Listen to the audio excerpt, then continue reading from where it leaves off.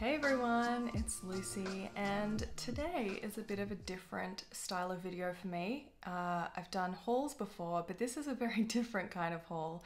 This is not makeup related, it's not beauty related, it's not even food related. So, what the hell is it? Well, you already know because you saw the thumbnail, you clicked on this, you know what this is about. It's random, I've been trying really hard this year, especially to get back into reading. I have a Kindle, I have some physical books.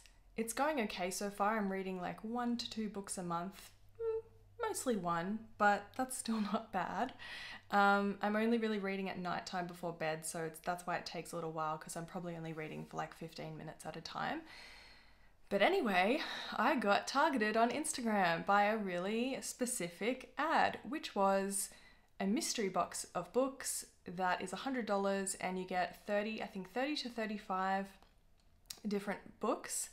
The one that the ad was advertising was specifically um, a mix of fiction and nonfiction, but then I actually realized this website had other sort of subcategories of mystery boxes. So the one that I decided to go for um, I have this piece of paper which came straight out of the box. It was called the Summer Fiction Sale Bargain Box and it was $100 and there should be at least 30 books in there. So that is very, very cheap. That's, you know, $3 per book.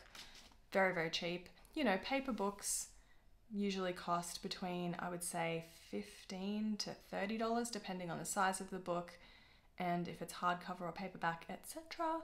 Um, I don't, I can't promise that I'm gonna read every single one of these books, but what I wanted to do was show you what I got so you can decide if you've been thinking about ordering one of these random things. If you were targeted by an Instagram ad, then watch this video instead and decide if it's something that you think you need in your life. So I got the books from the Book Grocer. So that is the name. I had never heard of them before. And it was a bit of a risk ordering from a website that I'd never heard before, but you know what? It arrived like a day and a half later. So go you, book grocer. That's amazing. Um, I have the books in a box down on the floor. I can't physically lift it, it is so heavy. Um, I've cut the top open and I kind of blurred my eyes and tried not to look at anything. I just saw colors and took this piece of paper out. And shipping was free, it was just $100. Australia wide free shipping. And does it say? Yeah, I ordered it on the 10th at 10 p.m. And today, what is it, the 12th? And it arrived like in the morning. So, yeah, a day and a half. I'm going to show you each book one by one and have a bit of a read of the blurb. And what I might even do is create piles of books that I want to read and books that I don't want to read. The books I don't want to read, I will obviously ask Alex and my parents if they want to read it. If not, pass it on to grandparents, friends, etc. Um, but honestly, $100, like that for me was a total risk to spend. But uh, if I can get three or four or even five good books out of it, then that is honestly the average of what you would pay in a bookstore. And also, I'm more excited to discover, you know, the kinds of books that maybe I wouldn't normally have chosen myself. So I love fiction, and yeah, let's just get into it. Here is the first book. Um, oh, it's a very reflective cover, so I'm going to hold it like that. Ooh. So the first book, I'm going to show you guys the cover first, and then I'm going to flip it around. So, The Pianist in the Dark, a novel. I'm not going to try and pronounce the author's last name. Just going to flip right over. Um, a stirring novel of love and music inspired by the life of pianist Maria Theresa von Paradis, a blind virtuoso and friend of Mozart. Yeah, so retails for 13.95 US or 16.50 Canadian. So I'm guessing honestly probably $20 in Australia for this book. So it's small, it's it's small and short it is only like 100 and 140 pages. So that's a really quick read. So that's going in the yes pile. Yes is to my right. And we'll see if any of the piles stack up, you know, visible on camera. We shall see. All right, I'm gonna kind of pick a book without looking. I'm just reaching my hand into the box. Okay. Here is the book. I'm going to lose count, but this is book number two. Um, Mary Adkins, When You Read This. Okay, maybe I will. For four years, Iris Massey worked side by side with PR maven Smith Simonyi, helping clients perfect their brands. But Iris has died, taken by terminal illness at only 33. I am 33. Oh. Adrift without his friend and colleague, Smith is surprised to discover that in her last six months, Iris created a blog filled with sharp and often funny musings to the end of a life not quite fulfilled, or on the end of a life not quite fulfilled. Okay, I'm getting goosebumps. Firstly, PR, thoroughly entertaining and enjoyable stories about PR.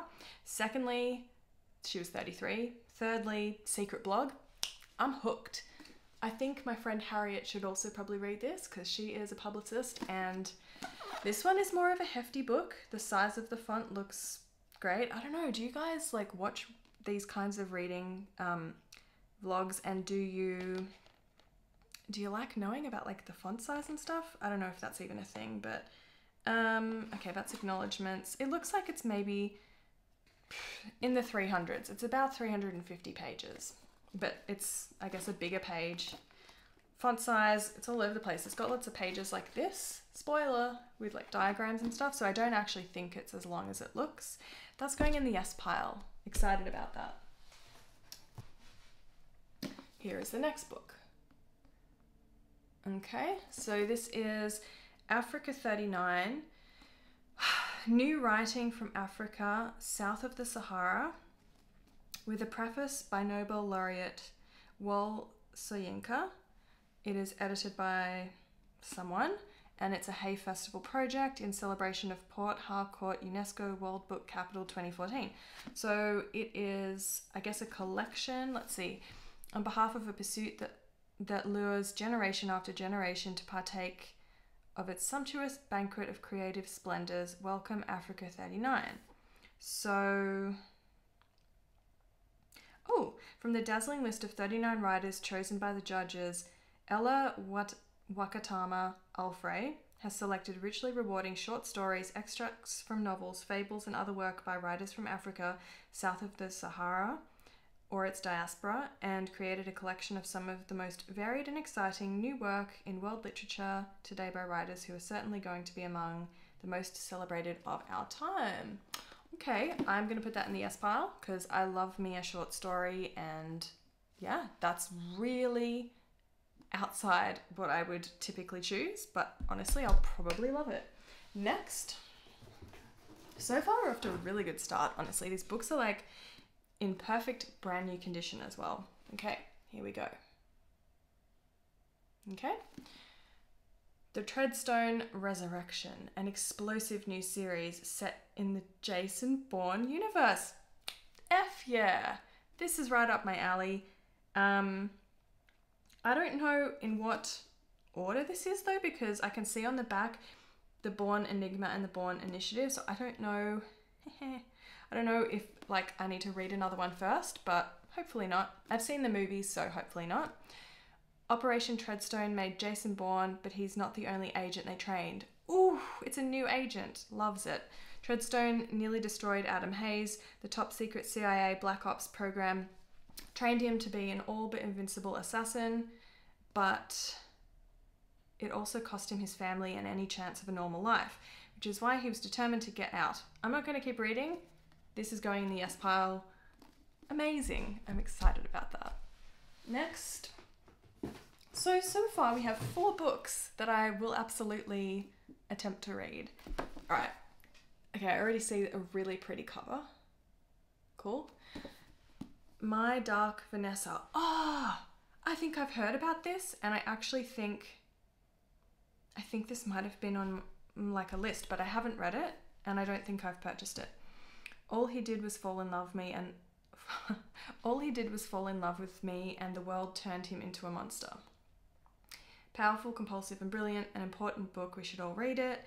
Vanessa Y was 15 years old when she first had sex with her English teacher. She is now 32. What is with all these characters being close to my age?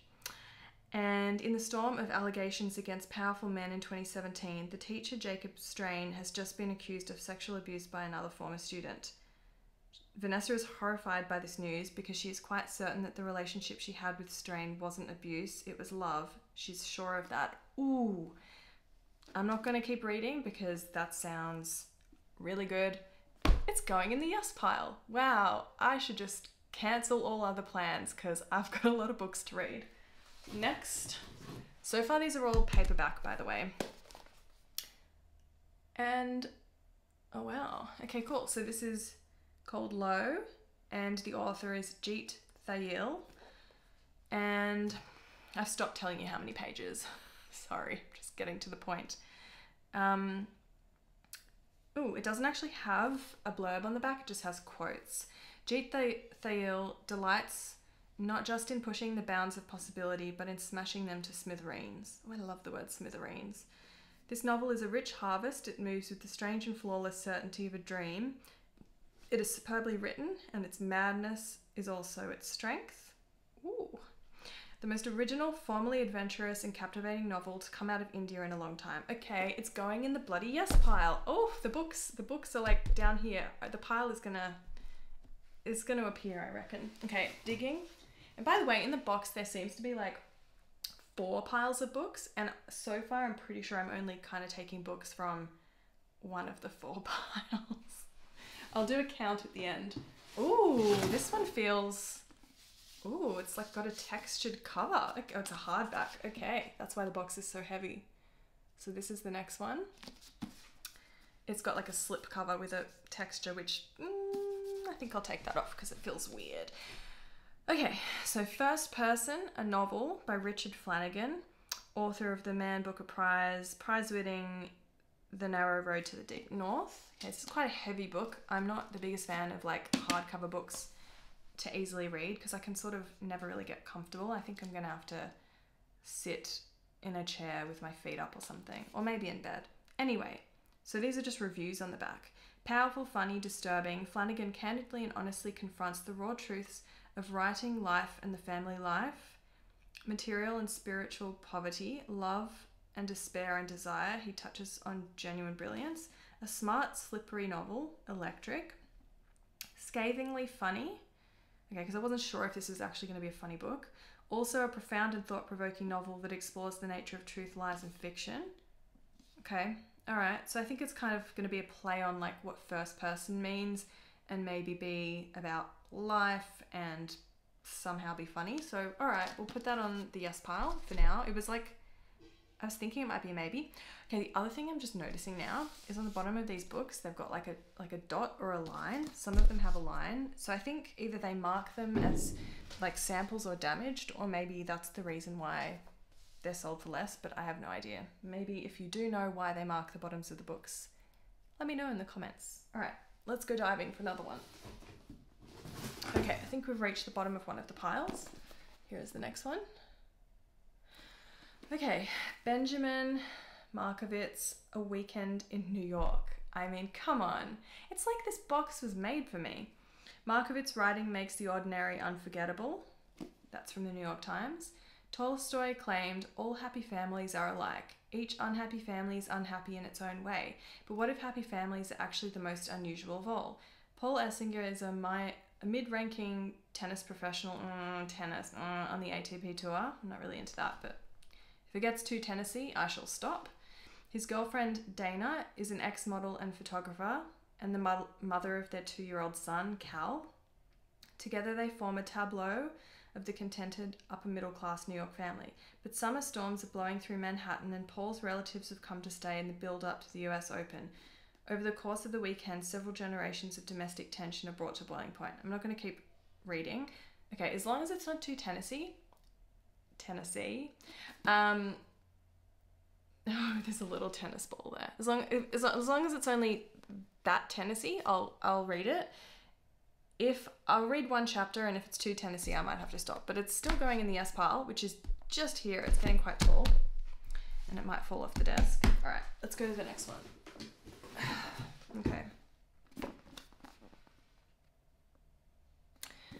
This is by Louise Pentland and it is called Wild Like Me. Um, does anyone else out there feel like me? Robin Wild is an awesome single mum. She's great at her job. Her best friend Lacey and bonkers Auntie Kath love her, and little Lila to the moon and back. From the outside, everything looks just fine, but Robin has a secret. Oh, yes, I love a secret. Behind the mask, she carefully applies every day. Things sometimes feel dot dot dot grey and lonely. She struggles to fit in with the school mum crew. Online dating is despair inducing. And how can she give her little girl the very best when honestly, some days it's hard to find a clean pair of knickers? Okay. So I'm thinking maybe this is about someone who's depressed. I don't want to say no to this book, but I also don't know if I'm the demographic for like a mumsy depression book. So for now, I'm going to put it on the no pile because I think I know some people who might prefer that book to me. Next, we have this one. Uh, Best of the Best, a mod- modern Australian short stories. Tim Winton, Cate Kennedy, David Malouf, and many more. Um, okay. Um, I should probably give it a go just because I already know I like Tim Winton. Um, wow, it lists these are the authors that it includes stories from. And by the way, I'm not 100% sure if you order this box if you get these exact books or if it's a curation of a larger set of books. I'm not sure. I don't I honestly didn't read the description. You know, I ordered it at 10 p.m. So um uh I don't think I really need to read the back of this one. Basically, it's a collection of work by like 30 authors, I think. So I'll put that on the yes pile. Oh, yeah, I'll put on the yes pile. There was almost a maybe. Um, possibly my parents or other family members will like that. All right, next one.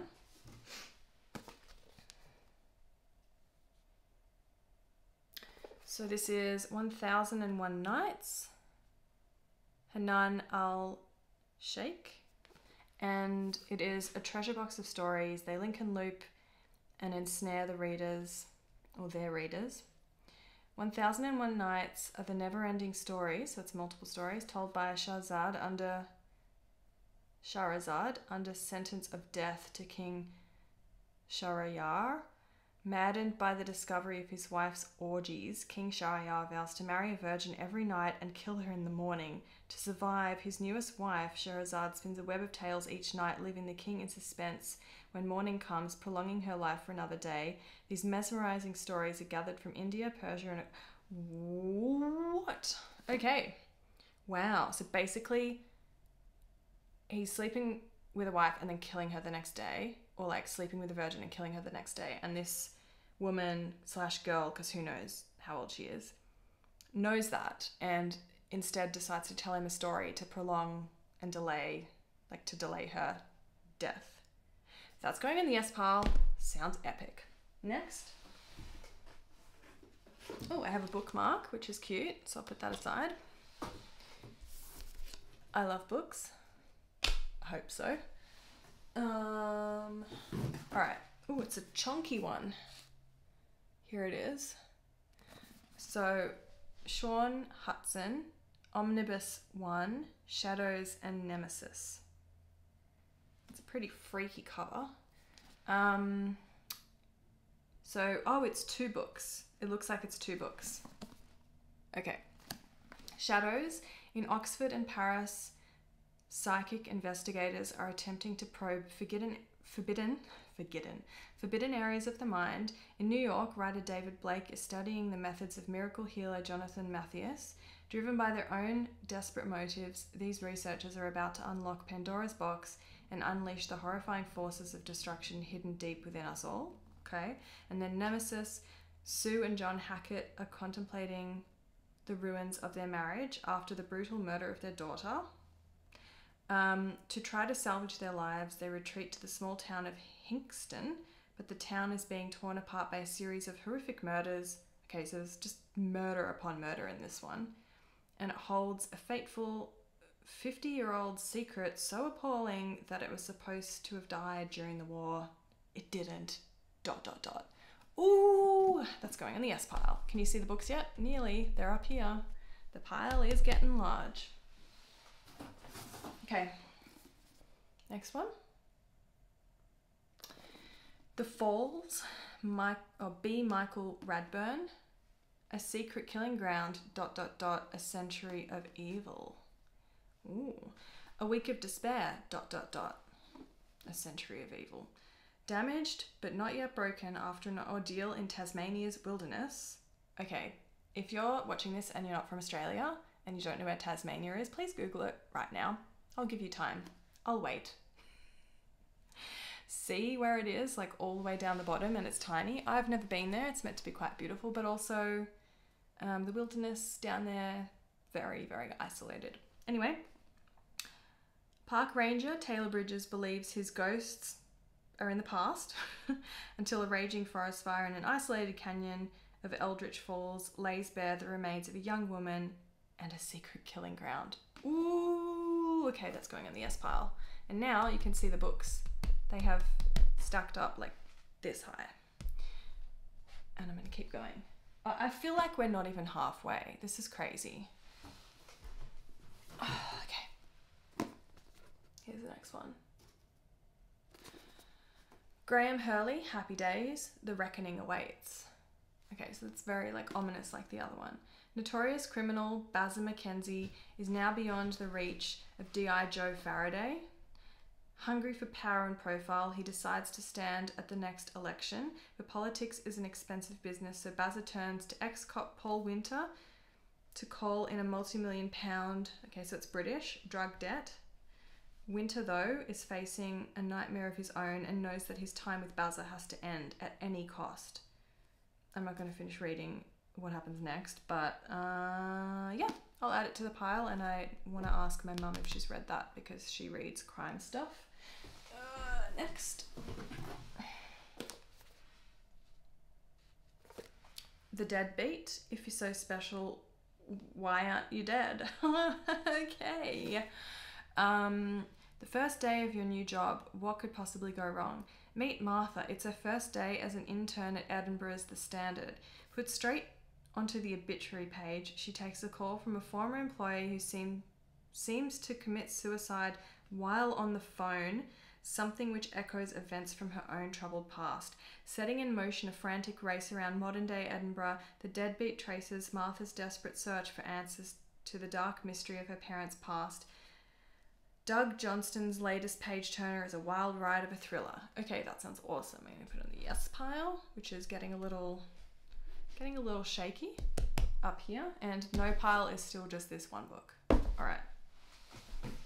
And I have no idea how long it would take me to attempt to read all of these, but you know, goals. Okay. Blood Whispers. John Gordon Sinclair. A hard, tough ride on the wild side that lingers in the mind with a creepy boat on the front. Kira Lynch is a criminal lawyer. I feel like there's a bit of a crime trend going on. Uh, with a reputation for keeping her clients out of jail. They trust her, she knows how to keep a secret, but Kira has a secret of her own. When her latest case threatens to uncover her past, she realizes that most dangerous person isn't always the one that's chasing you.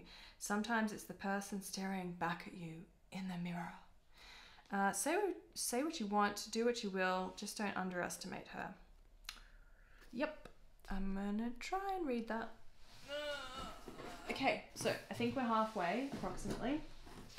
Isn't this fun? I'm really surprised there's not more books that don't appeal to me. A Famished Heart, Nicola White. Another crime. Fabulous Dublin Dublin based crime, dark, atmospheric, well written, very much in the vein of Tana French. I don't know who that is, but okay. Um, the McNamara sisters hadn't been seen for months before anyone noticed. It was Father Timoney who finally broke down the door, who saw what had become of them. Bernice was sitting in her armchair, surrounded by religious tracts. Rosaline had crawled under her own bed, her face frozen in terror. Both had starved themselves to death. Francesca McNamara returns to Dublin after decades in the US to find her family in ruins. Meanwhile, detectives Vincent Swan and Gina Considine are convinced that there is more to the deaths than suicide. because what little evidence there is shows that someone was watching the sisters die. Oh, creepy. Creepy, creepy. And now the pile is getting right, like, it's very tall. It's like, it's like this tall. Okay, next, and it might tip over, but that's fine. Here we go. This is the next one. The Most Difficult Thing, a cool new generation of spy novel, and it's by Charlotte Philby. The twists keep coming right down to that chilling last line. Ooh, that makes me want to read it. Uh, what would you sacrifice to uncover the truth? God, so many like rhetorical questions on the back of these books, which I mean, I love a rhetorical question, don't you? Don't answer that. It's rhetorical. On the surface, Anna Witherell personifies everything the aspirational personifies everything the aspirational magazine she works for represents. Married to her university boyfriend David, she has a beautiful home and gorgeous three year old twin daughters Stella and Rose. Ah, how perfect. But beneath the veneer of success and happiness, I knew there'd be a veneer or a facade. Anna is hiding a dark secret. Wow, how many of these say dark secret? Um, one that threatens to unravel everything she has worked so hard to create.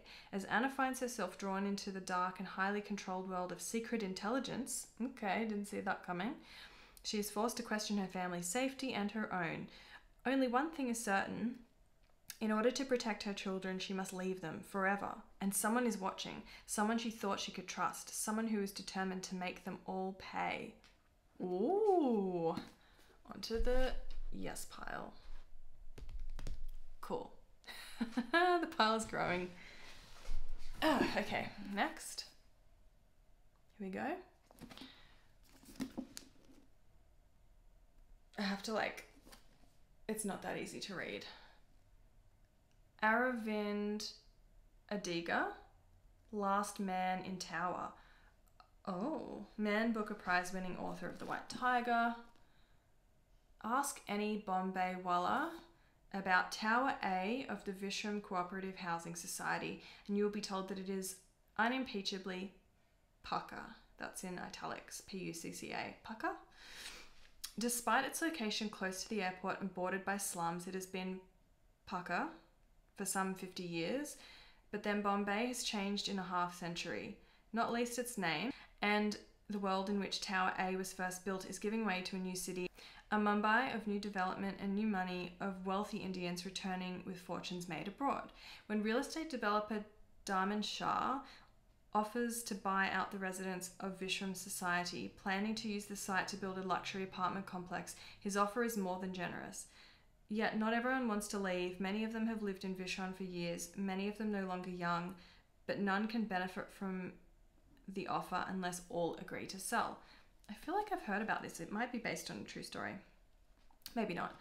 As tensions rise, one by one, those who oppose the offer give in to the pressure of the majority until only one man stands in the way of Shah's luxury high rise. Okay, cool. So basically, one guy does not want to move, and that's what it's about. So that sounds cool. I'm gonna I'm gonna add that one man to the top of this rickety tower of 1, 2, 3, 4, 5, 6, 7, 8, 9, 10, 11, 12, 13, 14, 15, 16, 17, 18. So we have 18 books that I might read. And by the way, these are the books that like sound interesting to me and then I think what I'm going to have to do because it's a lot more than I thought is narrow this down further to what I really will read. And what I might also do is read the first few pages of some of these books and let you know if you want to know which ones I definitely am going to read or which ones I want to read first. Just ask away. Um, if you want to know about the font size in any of these, how many pages the book is, or the price that's listed on the back, because I also stopped mentioning that throughout the video, then comment and I'll let you know. So let's keep going. There's definitely at least 30 books in this box, probably more. Okay, here we go. Um, Little Faith, Nickolas Butler. Alrighty. A novel as tender and generous as any I've read. It's 3 a.m., I gotta get some sleep but can't stop reading sort of book. Heart stoppingly good. Okay? Little Faith is a quietly brilliant book about how love and grief, about love and grief, about what we believe and how we engage with the world. Butler has the empathy and humanity of Kent Haruf, but his prose has unique rhythm all of its own. This is profound writing of the highest caliber. Well, I'll give it a go, um, and if it's a bit too poetic, I'll probably pass, but I'll definitely add it to the potential yes pile, which it's now got to be a potential yes pile because I just can't read that many books. Um, here's the next one. Cool. This is Paul Howarth, Only Killers and Thieves. An impressive debut, and that quote is from Tim Winton, so that's good. One scorching day in Australia's deserted outback, Tommy McBride and his brother Billy return home to discover that their parents have been brutally murdered. Dun dun dun. Distraught and desperate for revenge, the young men set out in search of the killers, but the year is 1885 and the only man who can help them is the cunning and ruthless John Sullivan, wealthy landowner and their father's former employer. Okay, so they rally a pos- rallying of posse of men. Sullivan defers to the deadly Inspector Noon and his Queensland Native Police, an infamous arm of colonial power whose sole purpose is the dispersal of Indigenous Australians, that's not good, in protection of settler rights. The retribution that follows will leave a lasting scar on the colony and the country it later becomes, etc. Um, yeah, I'll give it a go. It sounds like it's possibly not my kind of thing, but you never know. I, I'm going to try it, and the pile is now almost above the screen. I think what I have to do is probably make like a second yes pile because it's getting a little tall. So I'm going to take these three books and move them down to the second yes pile. And then you'll be able to hopefully still see my face. All right, next. The Wanderers by Meg Howrey. Here we go. Helen Kane may not be the best mother in the world, but she is one of the world's best astronauts, and when at 53 she's offered a chance to train for the first crewed mission to Mars, she doesn't hesitate. Sounds awesome. She and her fellow astronauts, Sergei and Yoshihiro, will be confined in a desert facility striving to prove themselves. Oh, this is like that um, TV show. While outside their loved ones, Helen's actress daughter, Sergei's teenage son, and Yoshi's lonely businesswoman wife pursue complex explorations of their own. All six will find themselves confronting the bonds of love and loyalty, sacrifice and desire. The Wanderers is a brilliantly witty and inventive novel of ambition, endeavor, and family. That sounds really, really good. So, yes. Some of them just pop and I'm excited, and other ones I'm like, I should read this, but do I want to? Here's the next one. Okay, A House of Knives by William Shaw. Um, it doesn't have a blurb, it just says um, a first rate police thriller. The totemic year of 68 will never seem the same again. Excellent dot dot dot gripping. Shaw skillfully recreates an era of social turmoil and class conflict. So, best crime of 2013 by the Evening Standard. Okay, that's going in the S pile. Cool there's not really any sci-fi or anything, is there? It's all like real and crime. Um, but okay, holding this up. Craig Russell, The Devil Aspect. Um, okay, another question. How do you find a killer when you're surrounded by madness? 1935. As Europe prepares itself for a calamitous war, six homicidal lunatics the so called Devil Six, are confined in a remote castle asylum in rural Czechoslovakia. Each patient has their own dark story to tell, and Dr. Victor, Victor Kosarek, a young psychiatrist using revolutionary techniques, is tasked with unlocking their murderous secrets. At the same time, a terrifying killer known as Leather Apron is butchering victims across Prague. Successfully eluding capture, it would seem his depraved crimes are committed by the devil himself. Maybe they are, dot dot dot.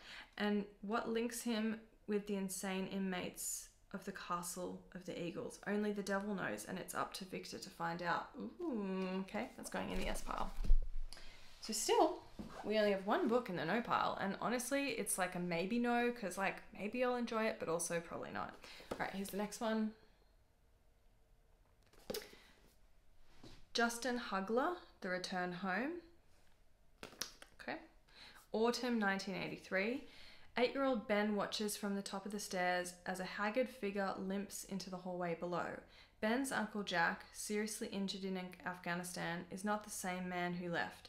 His return home will throw the lives of his family into turmoil. Set in an atmospheric Jersey, so not New Jersey, like actual Jersey. Oh, actually, yeah, no, it must be. Um, storm torn and overshadowed by its Nazi occupied past, The Return Home is a gripping tale about growing up, the breaking and mending of relationships, and facing our disappointments in order to move on. Uh, mm, mm, I'm gonna put that in the no pile. I don't know why, it just doesn't doesn't appeal to me. Okay, if you disagree, if you think I should read it, then let me know. Here's the next one. A lot of um. I was just gonna say there's a lot of things with neon, but I just realized. Ah, I have two copies of the same book. I don't know if it's that's supposed to happen. Um, but okay. I'll put the duplicate on top of the duplicate so that we remember. Oh, hang on. They're not the same.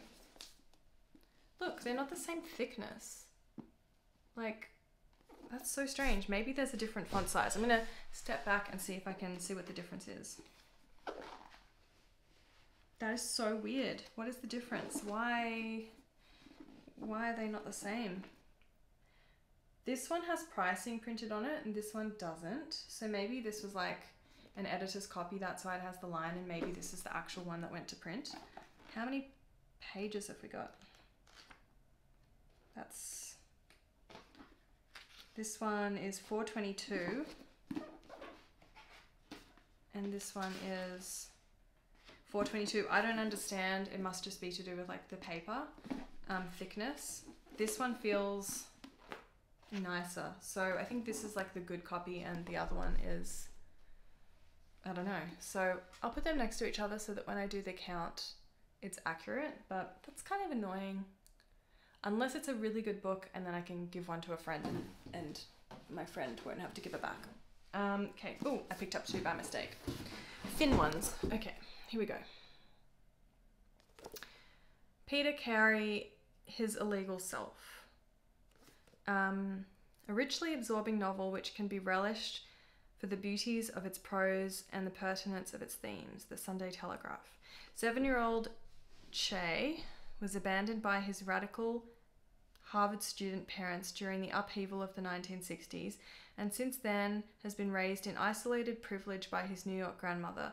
He yearns to see or hear news of his famous outlaw parents, but his grandmother refuses to tell him anything and forbids him to watch television. When a woman named Dial comes to collect Che, it seems his wish has come true. His mother has come back for him, but soon Che and Dial have become outlaws as well, and Che is thrown into a world where nothing is what it seems. Okay, that'll go on the yes pile. That sounds interesting. The next one, it all depends on the style of writing. Like conceptually, a lot of these books appeal to me, but you know how it is. Like the style of writing is really, really important. So we'll see. Next, back to Moscow, and I don't like the feeling of the cover. It feels plasticky, so that's going to be like annoying to read, but maybe I'll get over it. Okay. Tuesday night, vodka and dancing. Wednesday morning, posing as an expert at Pushkin on Pushkin at the university. Thursday night, chasing girls and more vodka. Friday morning, a hungover tour of Gorky's house. Martin, a young doctoral student of literature, comes to Moscow hoping to discover the country of Dostoevsky, Tolstoy, and his beloved Chekhov. Instead, he finds a city turned on its head where the grimmest vestiges of Soviet life exist side by side with the non stop hedonism of the newly rich. Along with his hard living expat friends, Martin spends less time on his studies, pursuing instead the mysterious Russian soul in the city's unhinged nightlife scene. In quick witted prose, recalling the neurotic open heartedness of Ben Lerner and the whiskey sour satire of Bret Easton Ellis, Back to Moscow weaves an enthralling coming of age tale of debauchery and discovery carved from the corpse of the former USSR, an unforgettable and complexly crafted portrait of a chaotic metropolis storming into the 21st century. Hmm. It'll all depend on the style of writing. I'm gonna put it here and take a break because I think my camera's getting hot. Okay, I'm back. Let's try and finish this quickly because this video is uh, turning out to be longer than I planned, but you know what? That's fine. All my videos are long, you should know that by now. Um, turns out my SD card needed reformatting because even though I deleted all the files, it, it just thought it was full and it absolutely wasn't. So I had to take it out of my camera and put it into my SD card reader and then go to the disk utility and then reformat it. But it's fine now. So I'm also just learning how to actually read at the top of my camera how much recording time I have left. I've never done that before. I've got four hours of recording time left. Woo! But we only have two more books left. The second last book is ooh, kind of hard to show you because I piled these up. Let me rearrange this a little bit because the pile nearly toppled over. This is the second last book here. So it is called Replay by Ken Grimwood, and I really like that cover, it's cool. One of the most elegant and moving time travel stories ever written. Okay, I'm sold. I love time travel stuff. Oh, the back is cool as well. I love this. Um, another question What if you could live your life again and again? Jeff Winston's life is not how he imagined it would be an unhappy marriage, an unrewarding job, and then he died. Aged 43 and woke up again back in his college room in 1963, age 18. With all his with all his memories intact, if he applies those memories, he can be rich. He can have anything he wants in this new chance at life until he dies at 43 and wakes up in his 18 year old body again and again in a continuous 25 year cycle, each time starting from scratch at the age of 18 to reclaim lost loves, make a fortune, or remedy past mistakes. And then in one replayed life, he meets a woman who knows all too well what he is experiencing a superb novel, novel, novel of life, love, and second chances, and what it means to risk everything. Oh, that sounds very good. Okay, so the pile is nearly done, or the three piles. Last book. Definitely, yes, this is the last one. It is Okay, Mr. Field by Katharine Kilalea. I had to like hold it that far away to like read it properly. Um, Mr. Field, a concert pianist traveling back from a performance in London. Okay, so there's two piano themed books in these fractures his left wrist in a train crash. On a whim, he uses his compensation check to buy a house he has seen only in a newspaper. A replica of Le Corbusier's Villa Savoye built on a stretch of coast outside Cape Town. Okay, so it's set in South Africa. When he moves there with his wife Mim, the house, which Le Corbusier, is that how you pronounce it? Corbusier? Uh, designed as a machine for living, has a disturbing effect. Okay, Mim disappears without apology or explanation, and Mr. Field can barely summon the strength to search for her. OK, Mr. Field dwells in the silences between words, in the gaps between conversations, and in the distances between people. It is a novel of exquisite precision and startling imaginative reach. It makes something new. Okay, um, I'm gonna say yes, but it's kind of borderline for me based on that description, but I'm gonna put it here nonetheless. So really after all of that, these are the two no's because I don't know, they just don't really appeal to me. And I think I could probably narrow it down because like this is just too much. Um, but let's do a count. We've got two, three, four. I'm going to say five because I'm not counting the duplicates of those two. Six, seven, eight, nine, 10, 11, 12, 13, 14, 15, 16, 17, 18, 19, 20, 21, 22, 23, 24, 29 because there's a really thin one down the bottom. So it is exactly 30 books. However, we got the same book twice, which is a bit annoying because I deserve 30 books. So I don't know if I'm gonna give feedback on that. Tell me if you think I should give feedback or if you think I should just like get over it. Um, what would you do? Would you complain about the one duplicate out of 30 or would you just go, uh, it doesn't matter? Um, anyway, I'm gonna leave you here Because I probably need to go and finish the book that I'm reading, or maybe read a few pages of the front of all these books and try and narrow it down. Um, and I also kind of want to have these like stacked up next to my bed so that I feel inspired. Um, if you enjoyed this video and you made it this far, please thumbs up and subscribe. Uh, my videos are random. I don't stick to one particular theme, and that's because I don't know. I don't know why. I have lots of interests, and so my channel is erratic and all over the place. And if you like that hectic energy, then stick around, and I'll see you next time. Bye.